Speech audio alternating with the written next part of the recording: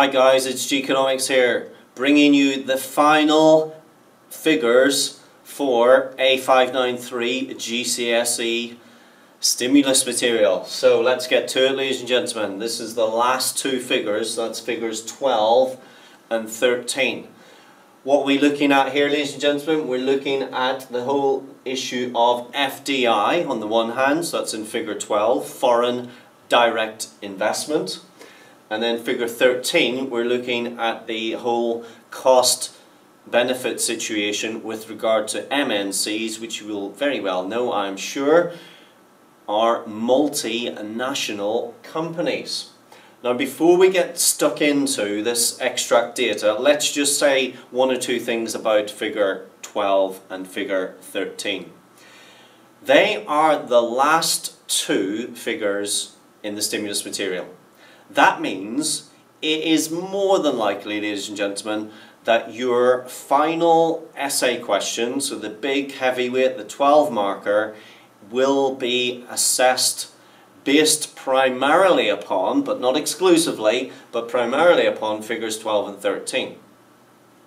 Do remember, ladies and gentlemen, it's very important in this, when you're writing your answer to this particular essay question, try and draw in elements from the other figures, so figures 1 through to 11. See if you can incorporate those into your answer here because more than likely, 99% likely, you will be asked in the question with reference to the extract data and you'll be expected. And it's so important. I cannot stress how important that is, ladies and gentlemen, but you must refer to other elements of the data when you're writing your answer to this particular question. Nota bene esto here, ladies and gentlemen, refer to the data. Okay, so it's most likely to be the essay question, the 12 marker.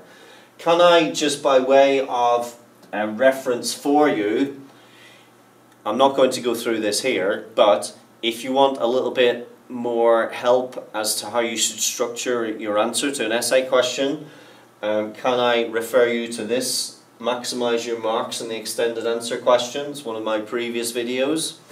Have a look there. Now this is primarily for A-level essay structure, but to be honest, the structure for GCSE is just the same, and this is why it's so good to get into these habits early on in your economics careers.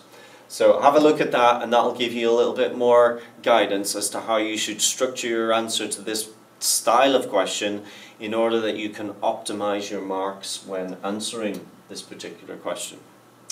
Okay, ladies and gents, some of the questions which I have um, uh, I think you should consider here would be the following. Define the term FDI. Define the term globalization. Define the term multinational corporation. Give an example of a multinational corporation. Explain the impact of foreign direct investment on a country's current account. Now you'll know that the current account, have we talked about this in previous uh, figures maybe? Um, made up of four separate components. So we have trading goods. Oh, we have, yes, of course we've covered this before. Trading goods, trade and services, primary income, secondary income. Primary income, we mean the income flows from abroad, so those net flows. Um, foreign-owned companies, multinational corporations located in this country, the incomes flow out, and obviously UK companies abroad, the incomes flow back. And we have a net flow there. Take one from the other and you get the net flow. State and explain two benefits to China of being the largest recipient of FDI. Now that really is all, it's almost written for you in figure 13 because it identifies for you a whole list of advantages of FDI state and explain two costs. Again, figure 13 does this for you almost. Um, it's, I used to think that this last essay question was something maybe to be a little bit frightened of, a little bit wary of, but there's so much detail, especially in figure 13, if you can just put that all together in lovely comprehensive prose, you should do really well in this essay. Explain the reasons why rapidly growing developing economies are more likely to be listed in the top 10 FDI recipients. Analyse the reasons for Asian countries significantly increasing their role in global FDI, becoming wealthier, surplus cash to spend, Therefore, what else might they do with it? Well, they might as well get a return by investing it overseas. Discuss whether multinational corporations are always an advantage to developing economies. And then lastly, using information in the case study and your own knowledge of economics, evaluate the role of multinational companies in globalization. So I think this last question is likely to be, ladies and gentlemen, the 12 mark question. And so in your preparation for this exam in a number of weeks, look to build an answer, look to build a writing frame for this question 11. And I think if you do that, you'll not go too far wrong. And remember, as I've said three times already, using the information in the case study, so important. Okay, let's have a little look at the information in this particular case study. So let's scroll back here to figure 12. So here we've got uh, the top 10 countries receiving FDI, and we've got the top 10, 10 countries providing FDI. Um, it, the thing about this data is, ladies and gentlemen, I have sought clarification on this from Elizabeth Ring, who is the subject specialist from the exam board, and I have an email to, um, to back this up and to reinforce what I'm going to say to you. It says here, of the top 10 FDI recipients, five are developing economies. Now, you'll be familiar, obviously, with the acronym BRICS, Brazil, Russia, India, China, South Africa. But if you go through this and you look for those sort of developing nations, we've got China, so that's one. Uh, we've got Brazil, that's two. We've got India, that's three. So I queried this with the exam board and I said, well, where are you getting this five from? Where are you getting it from? And so I was sent an email with some data and the data classified some of these other countries also as developing countries, ladies and gentlemen. So let me just show you which countries we're talking about here.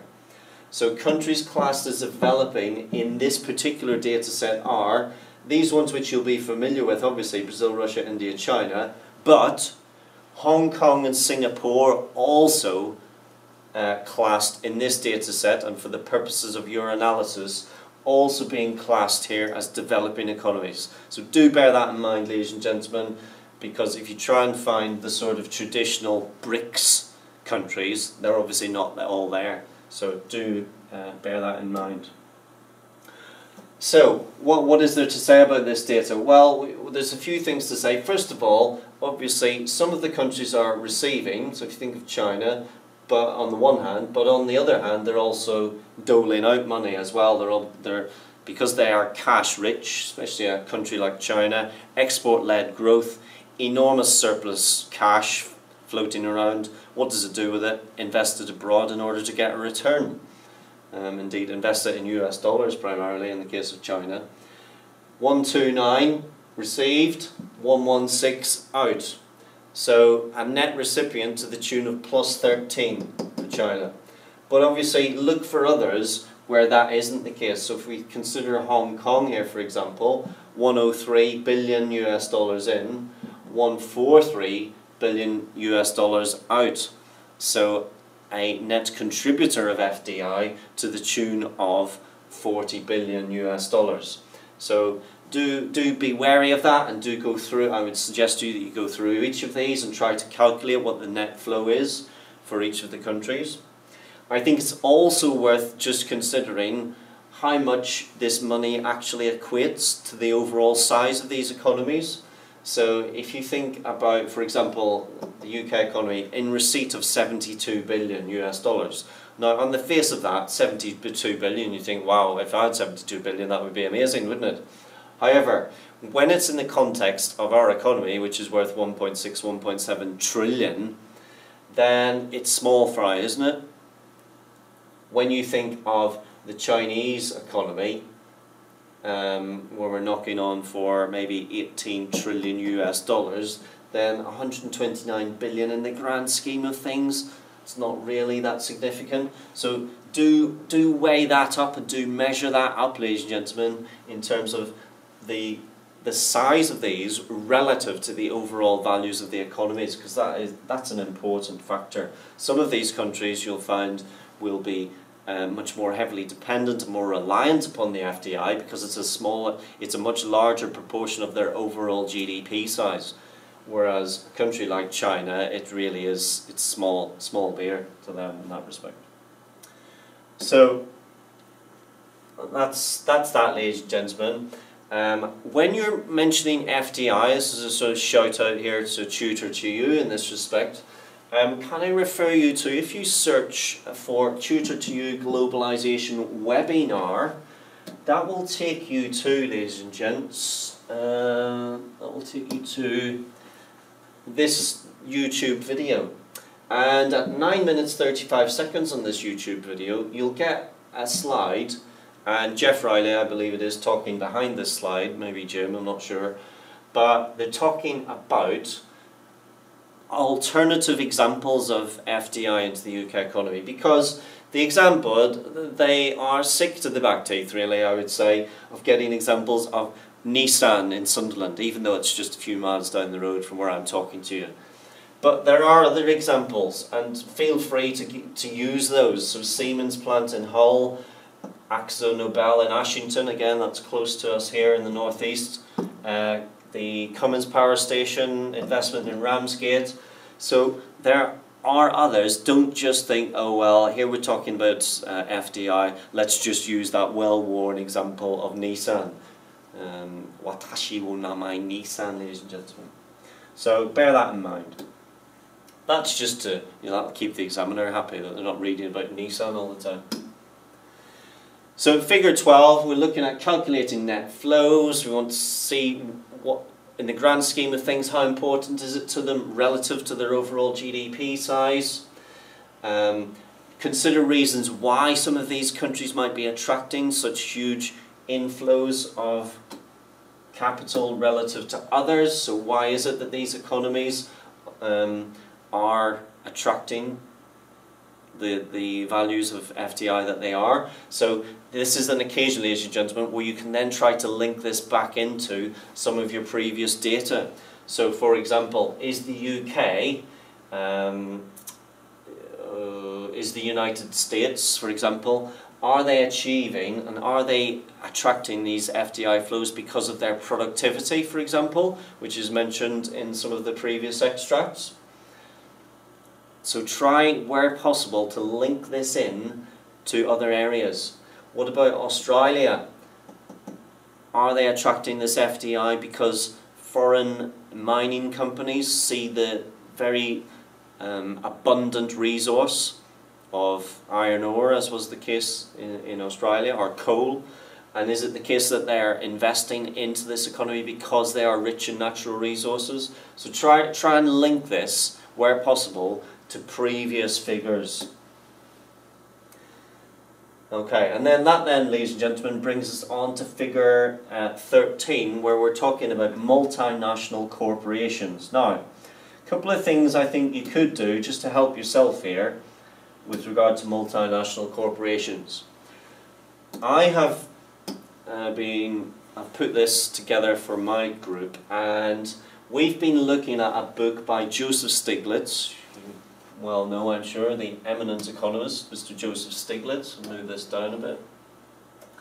And his book is called Making Globalization Work. Now, this is available online. You don't even have to buy it. If you just search Making Globalization uh, Work by Joseph Stiglitz, it will take you to this particular PDF file. And this PDF file is the, the entire book.